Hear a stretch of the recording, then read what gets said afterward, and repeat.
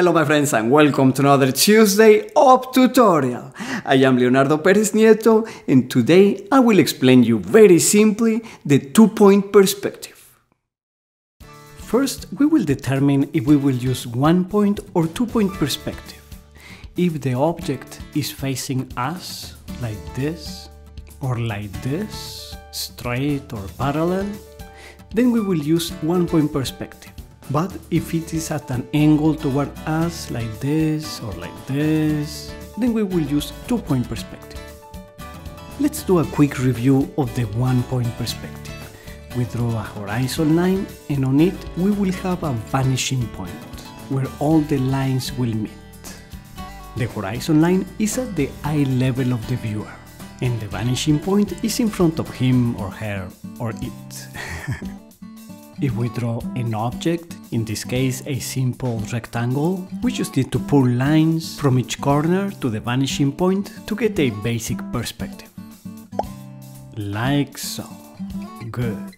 Let's draw also the back end. We are doing this as if the object was transparent or made of wire. Now with a marker I will go over the lines that we would see if the object was solid so as to make it more easy to understand.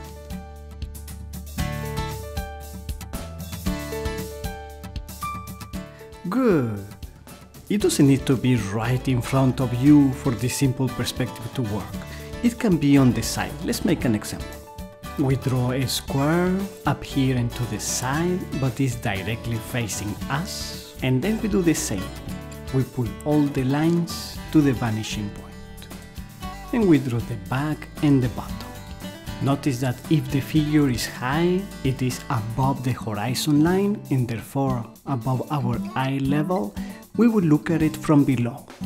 While the other one, which is below the horizon line, we are looking at it from above. And I'm correcting my crooked lines. What happened is that uh, since the camera is straight on the paper, if I try to get into a comfortable position, I will be right in front of the camera blocking all the view. So I am all the way down into the side, which is not ideal.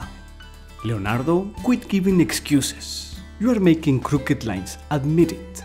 Yes, I'm drawing some crooked lines today. It's true and I'm sketching a second cube which is farther away, and as we know, the farther away the smaller it gets. This technique is not only for simple subjects. Let's draw a more complicated one. A strange shape. Like this. If we pull lines from all the angles to the vanishing point, we will get a nice perspective, very easily. If you would like to have more information about one point perspective, watch my video on the subject. And let's mark where we want the object to end. Very good. Now let's go over the two point perspective. We draw the horizon line, and this time we start drawing the object by the edge that is pointing toward us. The figure is going to be rotated, as we mentioned at the beginning. The object's side edges are converging at two vanishing points, one on the left and one on the right. These vanishing points are on the horizon line, of course. They can be far away, even off the paper, or close by. The closer together they are, the more extreme the perspective will look. We draw all the vertical lines of the cube vertical, without any tilt. And we also pull the other edges as if it were transparent. I could be doing this with a ruler which would be a lot easier and more precise, but this tutorial is for artistic drawing, as if you go out with your sketchbook, and in that case this is the way you would do it. Good, let's do another figure way up here. We begin with the edge and pull the ends toward the vanishing points. The higher and farther away from the horizon it is, the more we would see the bottom side of it. Let's pull the other corners, like this, and we draw the back edge, and the remaining line to complete the side. Very good! This is really fun. Let's go over it with a pen so that it is easier to see.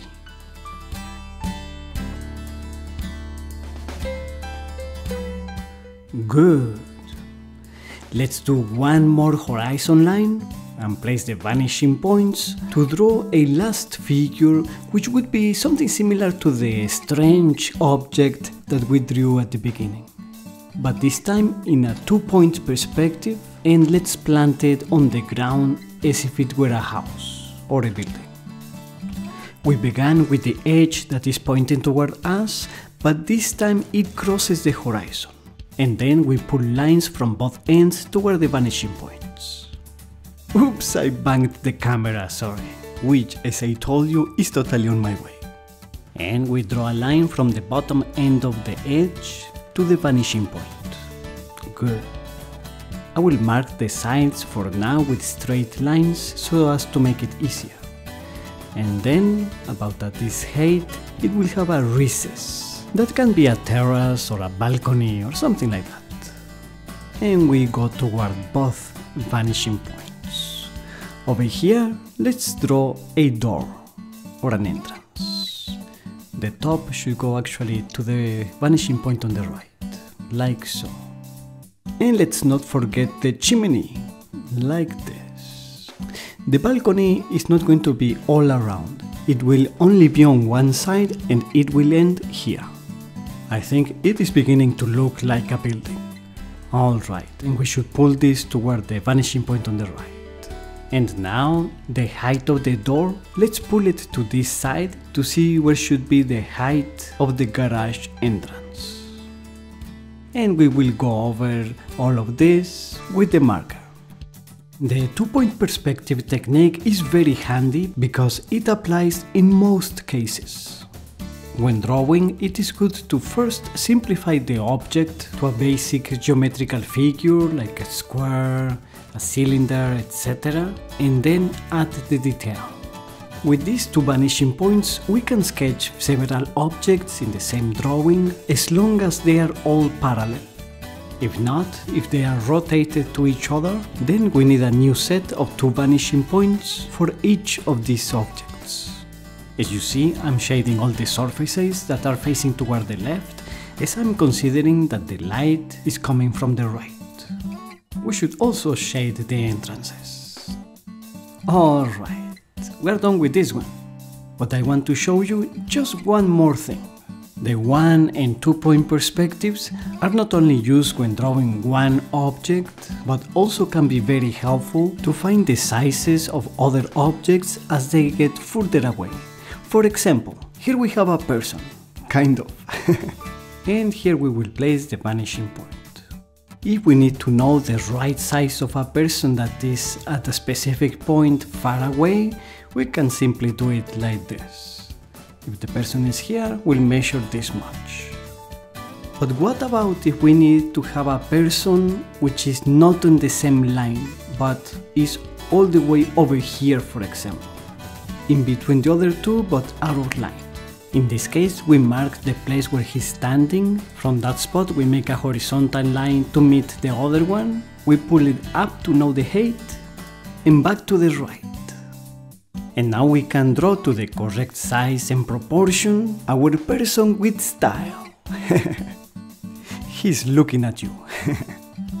we are done with this one. Let me know if you want me to make a tutorial with multiple vanishing points. Thank you. If you enjoyed it, please give it a like, share it to your friends and subscribe to Fine Art-Tips. You know where to follow me, the links are below. And I will see you on Tuesday.